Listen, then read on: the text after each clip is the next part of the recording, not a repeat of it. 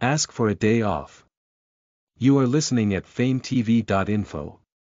Today is really uncomfortable that I backslash am really sorry, I really didn't backslash t want to ask for leave, but the tooth hurts so badly that I can backslash t read a word. Listen to the full novel at fametv.info, direct link in the description.